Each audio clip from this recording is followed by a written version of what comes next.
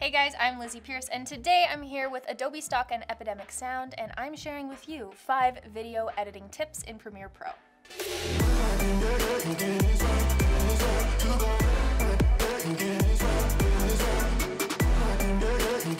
Now, the first time you open up Premiere Pro, it's exciting. You're hopeful, you're full of dreams, ambitious, but it's also terrifying. Now, Premiere Pro is a very high-end and detailed editing software, which of course means that the editing possibilities are endless. At the same time, once you first get into the program, it can be really intimidating. There are so many buttons and options and panels, it's hard to know where to begin. So let's just jump right in and get into the editing tips. Tip number one, freeze. Freeze is great if you want to, well, freeze a frame. Usually it's because you want to emphasize a certain moment.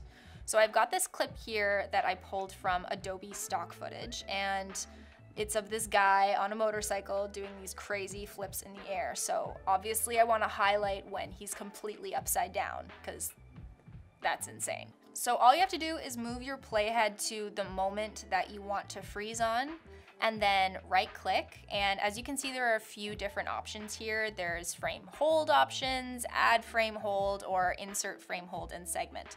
Personally, I like to use insert frame hold and segment because it not only freezes the frame, but it also adds its own clip for you right in between the cut. This is what it looks like.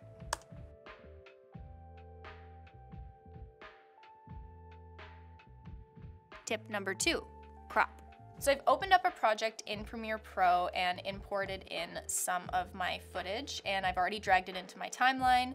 And as you can see, I filmed this footage really wide to make sure that I got everything in the frame. But now that I'm looking at it, I could probably crop it in a little bit. I don't need this extra headspace. So let's go to the top left panel and click on Effect Controls. Make sure your clip is selected as well, and then click the motion drop down. Next to scale, you can click and drag and adjust to whatever crop that you like. Of course, when you scale into the footage, you are losing pixels, but luckily Adobe Premiere Pro handles scaling very elegantly and tends to preserve the quality where possible. So if you're working in a 1080 timeline, for example, with 4K footage, you've got lots of space to crop in. Cropping in is also the first step to a digital zoom effect, so just by adding in a few keyframes here, you can add some movement to your originally static frame.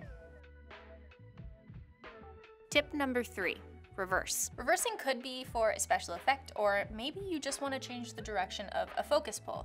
Regardless, it's a super easy change to make. So first, right click on your clip in the timeline. Click on speed duration. And just so you know, here is where you can also adjust the speed of the clip if you want. You can also set the clip to a custom length, or you can, of course, reverse the speed. So click on the box next to reverse speed, and that's it. Now your clip is reversed.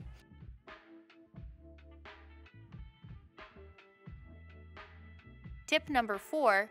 Cutting is the most basic of the basics when it comes to editing, and there are a few different ways that you can cut. So option one is to, of course, use the razor tool. And so you can either click on the razor right over here, or you can hit the keyboard shortcut C. This is what I use the most often. Option two is to use add edit. So the default setting on the keyboard shortcut for add edit is Command K.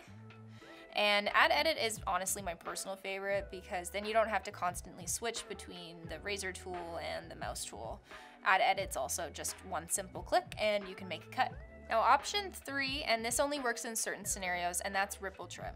So you wanna watch in the timeline to where you wanna make your cut, and then hit the ripple trim shortcut. This will not only make the cut, but it'll snap the rest of your timeline back to the clip before it. I would also like to add that all of these cutting options also apply for audio. So if you got your snazzy Epidemic soundtracks through Adobe Stock Audio, which you can access inside Premiere Pro, in your timeline you can use Add Edit, the razor tool, or Ripple Trim as well.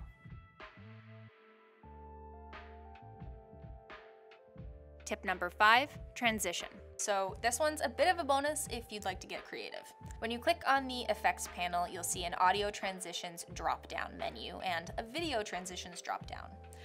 What you can do then is select the transition you like and drag it onto your timeline between the two clips you'd like to transition between.